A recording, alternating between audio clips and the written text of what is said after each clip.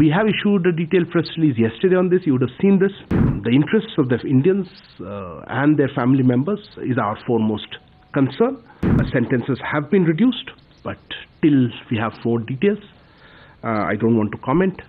We will also, of course, be discussing the next possible steps with legal team and the family members.